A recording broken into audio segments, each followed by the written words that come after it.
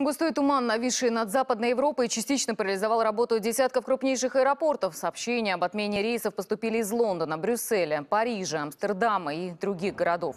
Самая сложная ситуация в лондонском Хитру, видимость в районе которого сократилась до 90 метров. За минувшие сутки там пришлось аннулировать более 120 авиарейсов. И синоптики не исключают, что туман, хотя уже и не такой плотный, может продержаться над европейскими странами еще не один день.